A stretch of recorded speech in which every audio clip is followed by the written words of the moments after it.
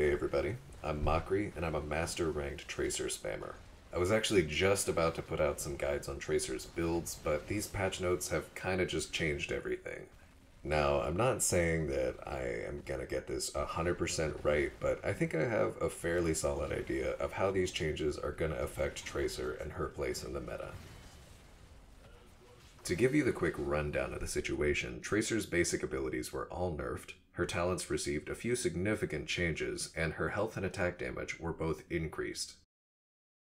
And before we get started, I just want to say that to me, there are two main Tracer playstyles. There is the Dive Bomber, which was the typical meta build. It was very safe, very easy, and it was honestly the most effective for most players and most situations.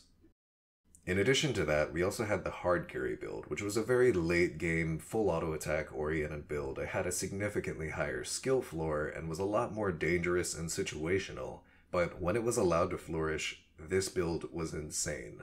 I just wanted to establish those because I'll bring them up a lot as we go through these changes.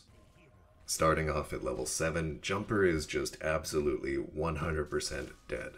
At this point, if you're drafting Tracer still as a diver, honestly Spatial Echo might see some significant usage because Bullet Time doesn't really fit that sort of playstyle. However, Bullet Time definitely seems like it's going to take the new spot at the top of the level 7 talent tier, and it even with the new blink cooldown increase, Bullet Time still earns blinks faster than it used to with the old numbers. For level 10, I've seen a lot of people think that Pulse Rounds is going to take the new spot as the top level 10 talent, and I'm not so sure about that. I still lean toward Quantum Spike being meta for the same reason that I haven't liked Pulse Rounds in the past. Pulse Rounds provides extra charge, but only on your auto attacks, which are only making up about half of your charge in a given fight, and only on heroes. So instead of the supposed double pulse bomb that this looks like at first glance, it's actually less than 50% extra value.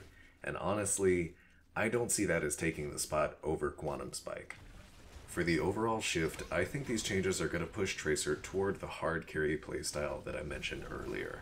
Again, this build is very late game focused, with things like Ricochet, which don't get full value until level 16, possibly Untouchable, which takes a long time to get off the ground and provide a noticeable boost. However, Untouchable is slightly more viable with the 12% health buff for Tracer, and the Pulse Bomb nerf also means that it's even more of a late game ability, with the new setup, Pulse Bomb never reaches the damage it used to have, even with a lot of scaling, but it's still now more than ever a late game ability with its new 6% scaling.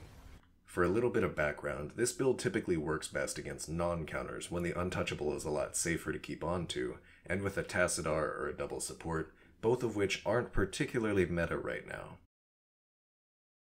I think that the potential implications of these changes are definitely a net nerf, the meta build is taking most of the heat from this situation, the dive bomber build that I mentioned earlier, and that counters to hard carry tracers, such as guaranteed damage like Greymane with Quicksilver bullets, could become stronger counters, because Tracer will rely on staying in fights for longer periods with these new changes. The health changes will make bursting Tracer just a little bit harder, but not by a massive amount. This buffs my playstyle of playing more auto attack late game oriented Tracer, the second playstyle that I mentioned earlier, but still hurts overall.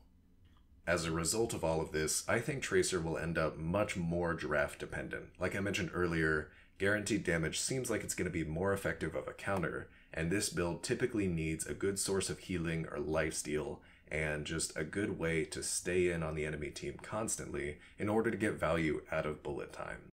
It's also slightly unrelated but relevant to me, with no more enemy names being shown in the draft, one tricking Tracer is probably actually going to be easier for me.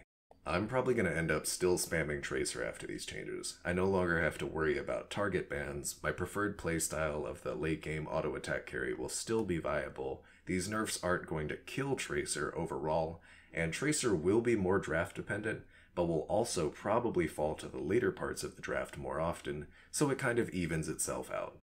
Overall, these changes are not the end of the world, and Tracer will still live on, but probably in a noticeably different role. If you have any comments or feedback or think I'm wrong about any of this, I would love it if you would drop me a comment or hit me up on any of my social media and ask me about it.